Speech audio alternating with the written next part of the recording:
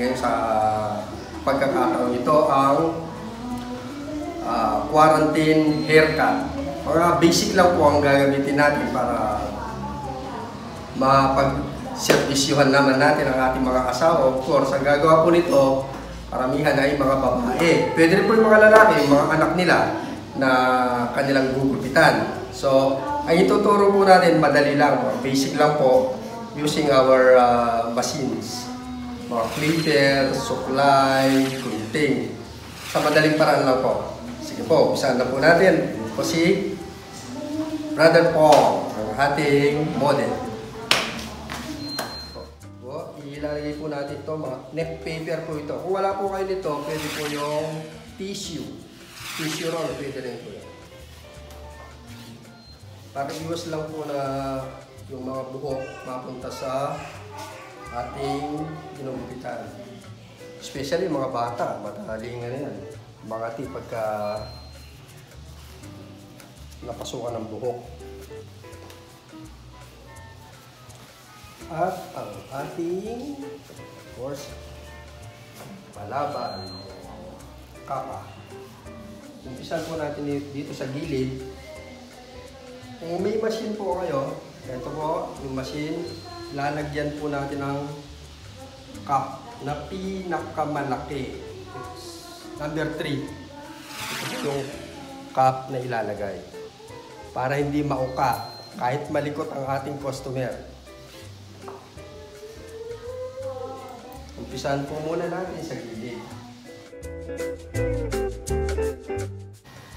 Susundan nyo lang po yan. Ang hangin nyo po, puro pataas. Pataas. Dali lang po yan, oh.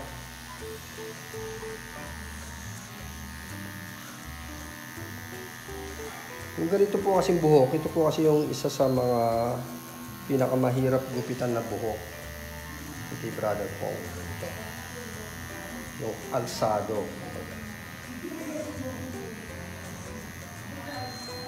Tatapusin po muna natin yung side na to para po makikita nyo.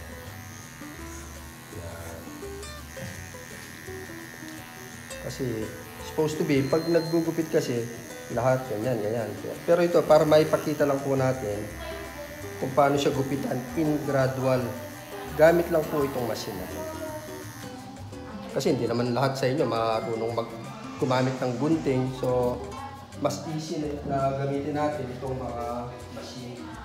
Tayo dun sa cup na nilagay natin na number 3. Ito naman po ang number 2. Siyempre kasunod nun, di ba? Gradual siya. Paano mo i-apply pag number 2? Ito po. I-apply mo siya, huwag mong itataas dito kasi dumaan ka na rito eh. Number 3 na to. So, saan mo i-apply yun? Dito, sa baba. Apply na po natin. Makikita niyo po paano po ang mangyayari.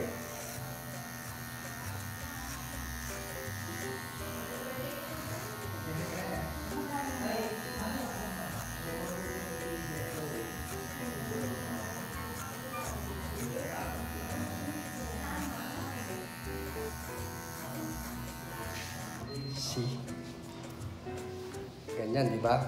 Yung kanina, na in-apply natin na 3, tapos yun 2. O, di ba? Maganda na siya. Gradual na siya. Hindi, kaga, hindi yung puti dito, itim dito, nagkakaroon siya ng misblending, hindi sa blending. So, the next po, bilis lang, di ba? Tanggalin natin ngayon yung cup. Ito lang siya. Di ba? Paliit ng paliit. Una ginamit natin 3, 2, then wala na, 0. Paano i-apply ang 0? So, ganito po yan. Huwag mong itataas. Dito lang po yan sa gilid. Para lilinisin mo lang. Dito. Much better, huwag nyo na patanggalin yung patilya para, kasi tu, pag tumubo po siya, pag nag-cut kayo rito, tumubo yung kasunod, pangit na siyang tingnan. So, gagradual mo na lang siya. Ito lang, di ba? Ang dali lang. Kung may galit kayo sa asawa nyo, huwag kayong mamersonal. Huwag yung sugatan.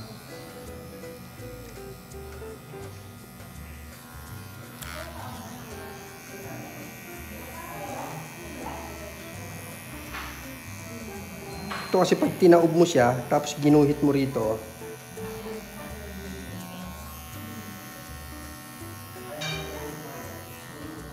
Oh. Ano yung tsura? Si, sasal pa lang yan dyan. Oh. Okay, next po. Yung una, 3, 2, tapos 0. So, 0 ulit. Anong gagawin natin? Dito po mapapansin nyo, meron siyang, ito parang kanto. Ito, di ba? So, ang gamit naman natin ngayon, suklay. Suklay at saka ito. Di ba? Basta, machine, tsaka suklay. Okay. Tatanggalin ko po yung kanto using our comb, suklay, tsaka yung machine. Gaganoon ko lang, tatanggalin ko lang yung pinakakanto. So, di ba? Wala pong hassle. Napakadali. Sa mga anak niyo po, kaya niyo pong i-apply ito. Pansinin nyo rin po paano ko hawakan ang suklay at ang masin.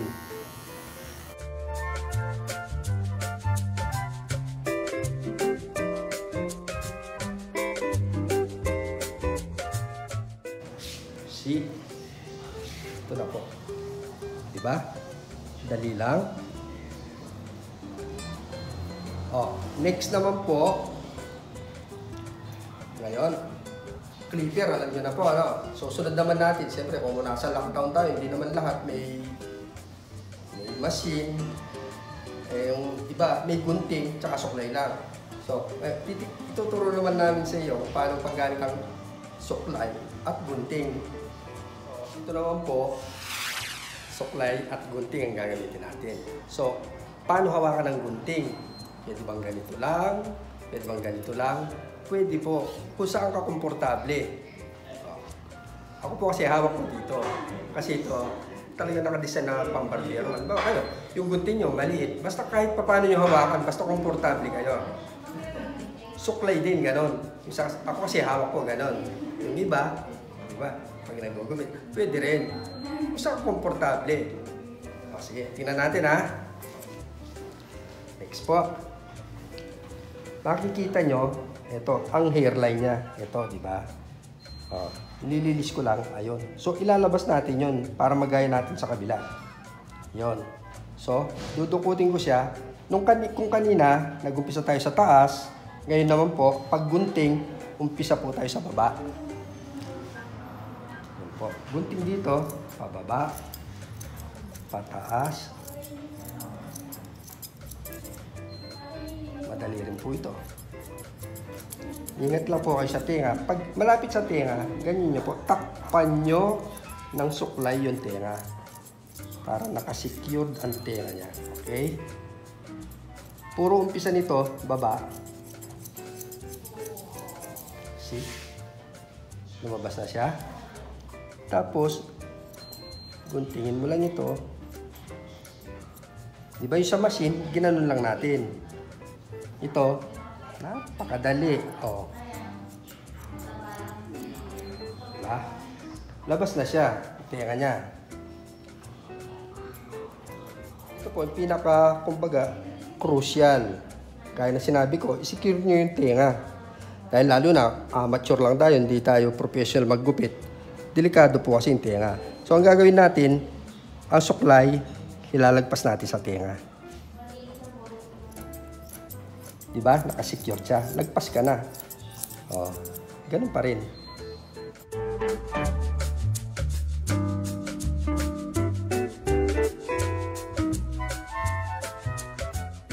Napakadali po.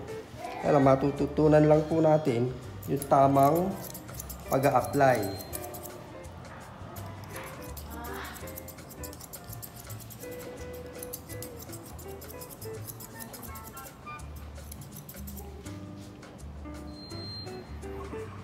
Po kayong mahiya na hawakan ng ulo ay pwesto nyo sa komportable nyong pwesto.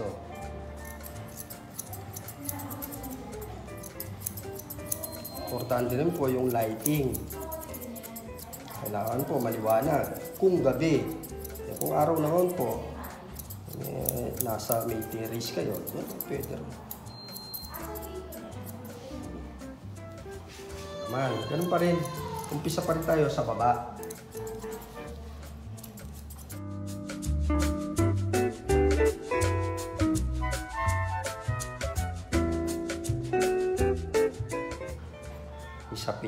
Kunting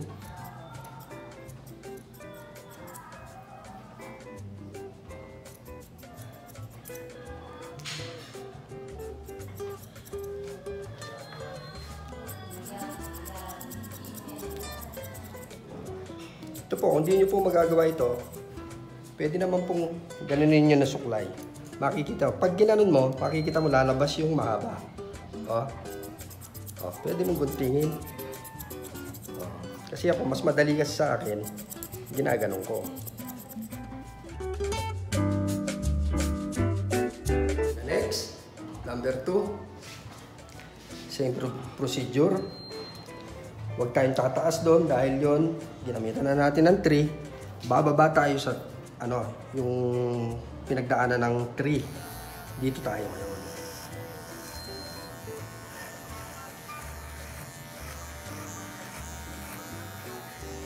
Kung mapurol po, mapapansin kung mapurol yung gamit nyo na clipper, ulitin nyo lang.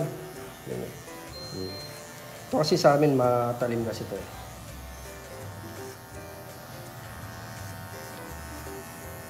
Yan, kung bibili po kayo ng clipper, mga magagandang mga magagandang ano, brand. Ito po, Moser at ito pong Wal. Yan po yung isa sa mga ano, magagandang brand. So, natapos na tayo sa number 2. The next is zero. Yun pa rin. Wala na siya. Ganun pa rin. Apply. Sa baba naman ng 2.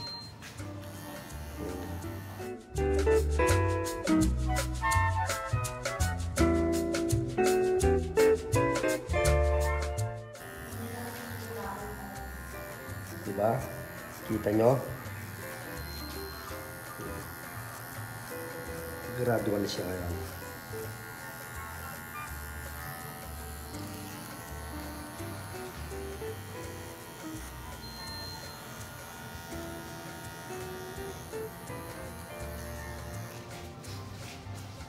Tapos, next, ganun pa rin. Di ba? Ganito pa rin ang ginamit natin. Yung pagkatapos ng 3, 2, tapos yung wala na sa ilalim. So the next, dito naman, yung sa taas, yung mga kanto, tatanggalin lang. Iti-trim. Sabi, di ba pag nagpapagupit tayo, anong gupit mo? Trim po, patrim lang, tinitrim mo ganyan. Yan, yan.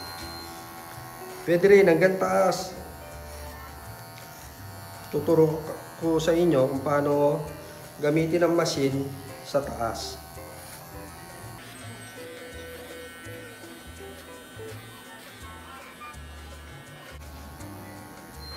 Okay, see? So, wala na siyang kanto. O, basic. Napaka-basic po. O, sa taas. Ganon. Kasi, huwag na tayong gagamit ng plastic kasi ang gupit ni Brad Pong, ano lang, ah, barbers. So, ganito lang paggamit ng machine sa taas. Ang hawak, ganito.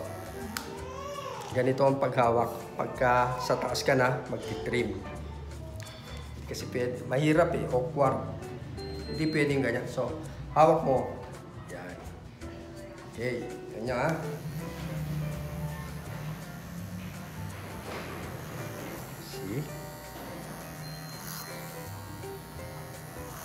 Trim lang yan ha.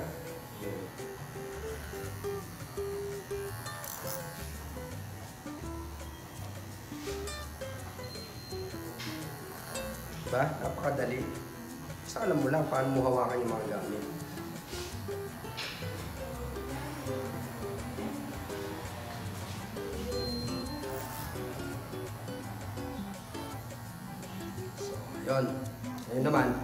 Gagamitin naman natin gunting para sa pagtitrim sa taas at sa harap. Ngayon naman po, gagamitin naman natin suklay at gunting sa pagtitrim. Ganito pa rin kung saan, saan kayo komportable umawak ng suklay at saka ng gunting. Pag ganito po, yan. Ganun mo muna. Yun. Diba? Misa kasi sa suklay pa lang, pagka bumuhol na gano'n, ginano mo, nasa bunot, wala, sasabit. Tulungan mo ng gunting.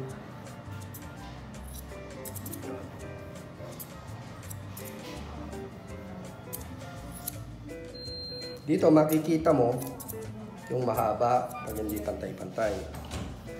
Actually ito napantay ko na eh. So pinapakita ko lang rito kung paano natin siya mapapantay o mati-trim gamit ang gunting.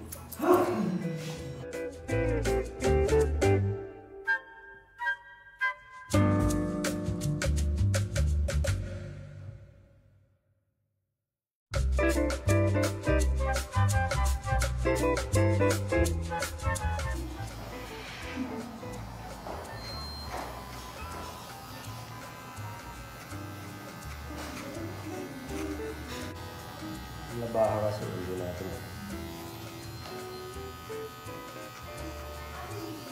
Purpose lang naman nun eh, mabawasan lang nila yung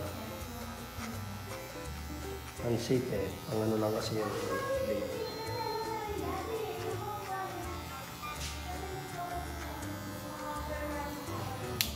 So, ito na po yung final na ating gagawin sa ating model.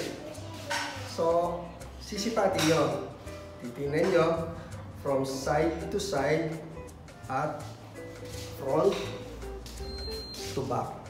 Okay. Paano pagtingin sa back? Titingnan mo dito. Kung tulad nito. Tingnan, nakikita nyo?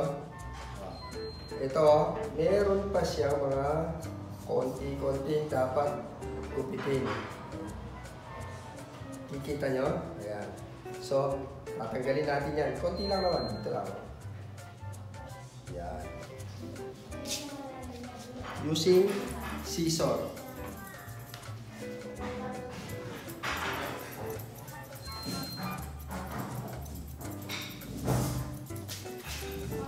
Ayan natin. Ganon, ganon. Suklay. Kaya kasi, mas pinakamadali,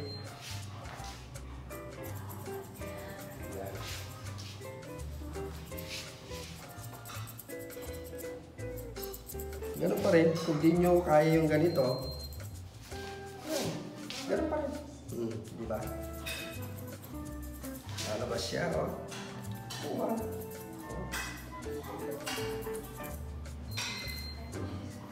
Ganun din, nyo sa side. Dito, side, side, pa dito. So,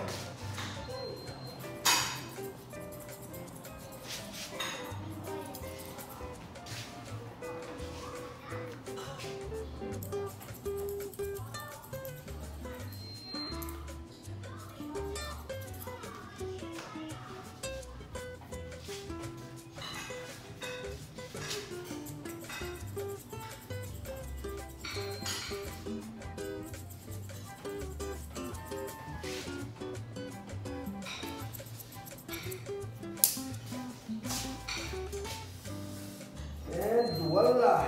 Tapos.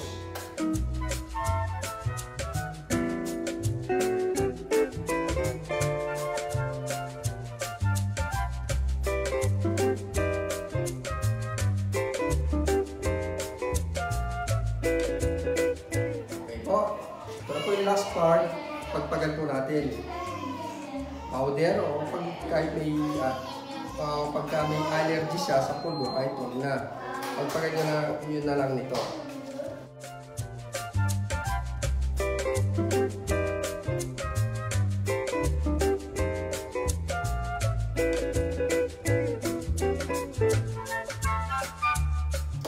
Muli, ito po. Tapos na po tayo ng isang episode. So, salamat po. Thanks for watching. Like, comment and subscribe. And no, please Magbaon kayo ng sombrero pag hindi nagustuhan ng mister nyo. Mag-sombrero na lang. Hanggang sa muli po. Salamat po.